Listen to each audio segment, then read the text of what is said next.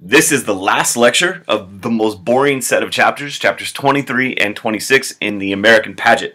So we left off um, with an election in which Benjamin Harrison has won couple things you need to know about Benjamin Harrison and his presidency. Like all the presidencies during the Gilded Age, or all the presidents during the Gilded Age, it's a very kind of hands-off approach. He does pass the Pension Act of 1890, which expands the number of people who are collecting a pension as a result of the Civil War. And this gives a huge boost to the Republican Party because a Republican president, Benjamin Harrison, help support this bill, which means a lot of people are going to vote Republican uh, from the veterans of the Civil War. So there's one thing. And the other thing is tariffs go up. Remember, one of the big battles Harrison was having with Grover was this issue of the tariff, and Grover had reduced the pension. So both those items are reversed. Boring stuff. 1892, interestingly enough, we have a rematch taking place. Um, and in this time, we have Grover Cleveland coming back as the Democratic candidate, hoping to win the presidency. Um, Democrats are going back to the well, as they say. And Benjamin Harrison is hoping that he's going to get a second term. Now, here's what happens things get complicated because there's another political party. Uh, uh, it's time to get the party started. Yeah, it's time to get the party started. Yeah. Named the Populist Party. And James Weaver is running as a third party candidate in 1892. Now, if you look at the results, it doesn't look good for the Populist Party, but what you need to realize is he gets approximately 8.5% of the vote, and that equals a good amount, nearly a million voters vote for the Populist Party, and they get some support over in the West, Kansas, Colorado. Uh, the Democrats, Grover Cleveland, gets a lot of support. Of course, the South, solidly Democratic, but he also picks off some northern states, and he gets reelected. Um, one of the reasons why Benjamin Harrison is not doing well in his uh, hopes for a second term is the tariff hurt Harrison. His support for that high tariff hurt people. And there were labor there was labor strikes and violence taking place. So all of these things kind of factor in.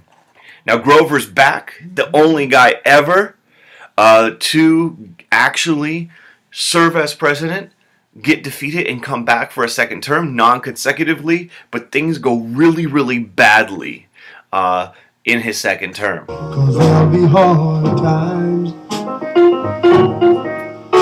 hard times. Oh, yeah. And that all culminates in the Panic of 1893. There's a huge depression. Um, it's the first major modern industrial depression the nation is facing. It's it's nationwide from 1893 to 1897, large scale industrial depression. Um, something that happens during this depression is the Pullman strike. We'll cover that in another lecture, but basically, workers at the Pullman Company go on strike and it ends in violence, which hurts Grover Cleveland's reputation even further. Now, things are not going well, and the American people are getting anxious. There's a resentment, and there's demands that something get, gets done. Um, and Jacob Coxey is the guy who's going to lead a movement called Coxey's Army in 1894. And basically, what Jacob Coxey and his army of men put army in quotes, right? Because it's not really as soldiers. They're not going to, you know, overthrow the government, but they start demanding things. Gun, gun ho, gun ho, gun ho. What makes the grass grow? Blood, blood, blood. What they are calling for is help. And what particular they want is they want public works projects. They want, they are unemployed men, they want the government to hire them and to do public works projects, things like building roads, for instance. Um, and they start demanding that the government do something with regard to this economic collapse. And they march, and there's, you know, not a whole lot of them, about 500 men march to Washington, D.C. They're demanding things from Congress, give work to the unemployed. You know, you're going to improve the highways. You're going to be able to, you know, help out the nation in its recovery. And um, the reason why Coxey's army is significant? Well, for one, how it all ends is not good for Coxey. He actually gets arrested uh, for, of all things, public trespassing. He was stepping on some grass that was uh, considered off limits. So you have Coxey getting arrested. What's important about Coxey's army? It's easily dealt with, right? There's no revolution. There's no, you know, anything significant that comes out of it. But what it shows is that there's a fear amongst middle class Americans. There's a fear that, oh, what is this mob of people doing? You know, is this the start of some sort of revolution, for, for instance? Um, and the government does nothing to help out the people. Coxey represents that Coxey's army represents that that demand for some sort of help, and the response of Grover Cleveland is leave it alone. Laissez-faire. The government should do nothing. The government should do nothing, and the economy will get back on track on its own. And if you're one of these unemployed people, this response from the federal government seems, at this time, especially with a hardcore depression, this seems just unacceptable. He does do something. Grover Cleveland does do one thing, and that is. She take my money when I'm in need. Yes, it's a trifling friend indeed. Repeals oh, the Sherman Silver well, Purchase Act. Time that digs on me. Uh.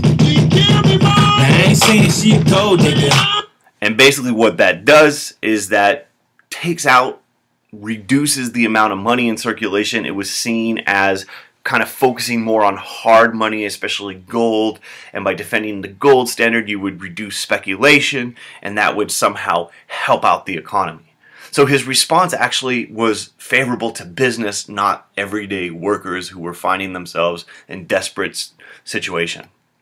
In fact, Grover Cleveland said, though the people support the government, the government should not support the people. And this is the perspective of many politicians of this time period. This laissez faire, let it go kind of approach, leave it alone. And as a result of his doing nothing, he starts losing support really quickly. For example, he's blamed for the panic. Calls out troops during the Pullman strike.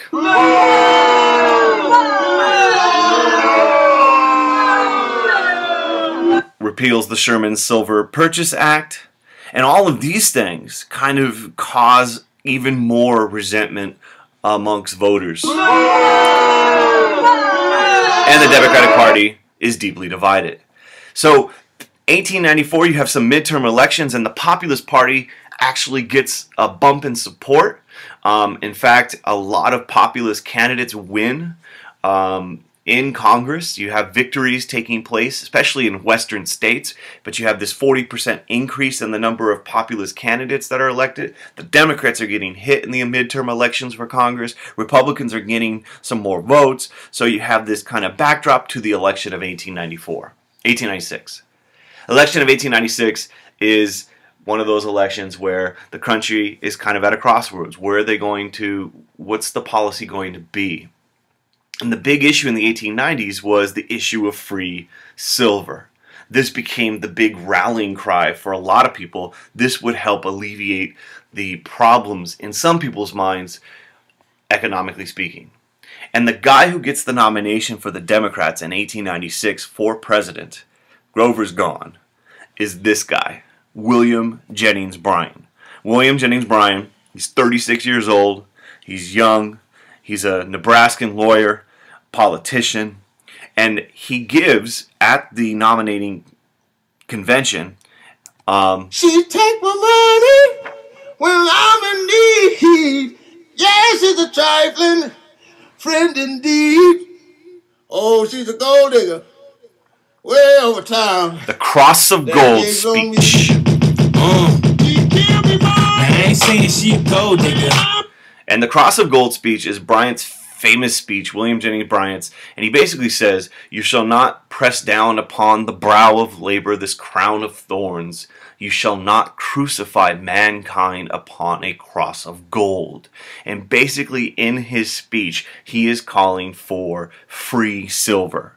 That becomes the big Democratic position in 1896. And you got this young, relatively unknown dark horse candidate, William Jennings Bryan, who is calling for, in Chicago in 1896 at the Democratic Convention, a platform for the free and unlimited coinage of silver.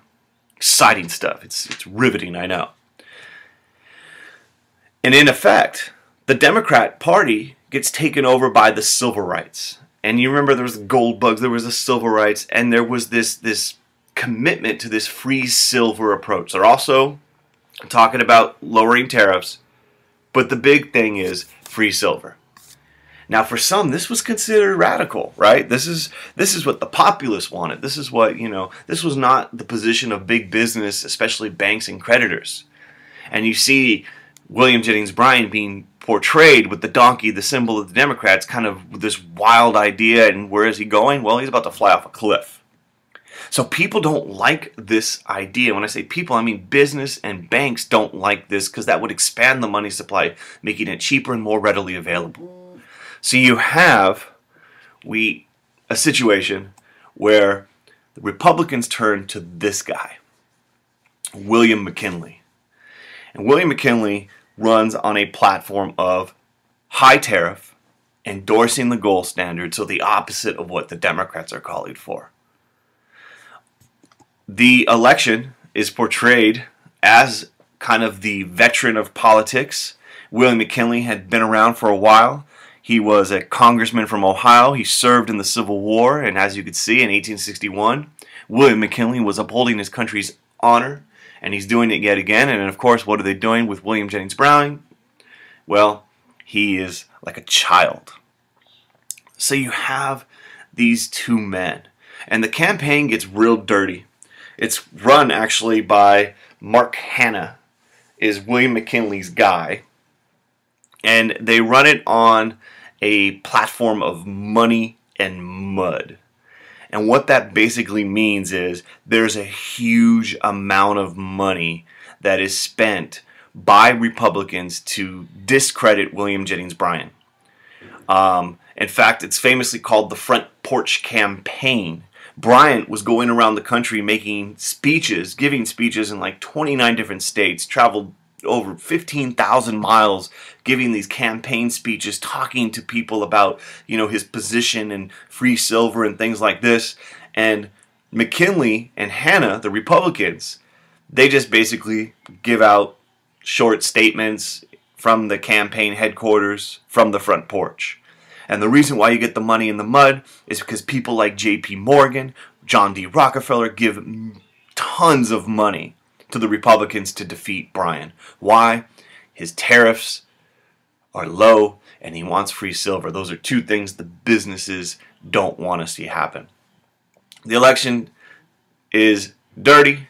Here they are actually crucifying. You can see Hanna right there kind of pinning the cross of gold, kind of making fun of that. Election takes place, McKinley wins.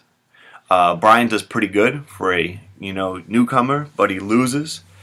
Um, one reason why is because the Republican scare tactics. They you know portray Bryan as too radical, gonna make the economy worse. And McKinley does two things, and we're gonna close out this darn lecture. Tariff.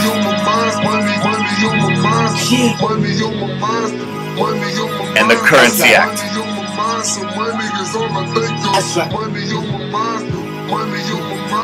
Dingley tariff, just know it pushes the tariff rates to an all-time high. Republican William McKinley, you're going to know tariffs for this particular period of time. And the Currency Act, 1897, officially puts the nation onto the gold standard.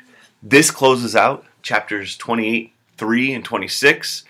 One last big idea, though, that you need to know is what's really key is by the 1890s, American public opinion was starting to really question the laissez faire Gilded Age policies. they want the federal government to do something with the social and the economic problems of the time period. In fact, that is the Interstate Commerce Act and the Sherman Antitrust Act. Those two laws are going to be established and both of those are going to attempt to restrict, to regulate businesses.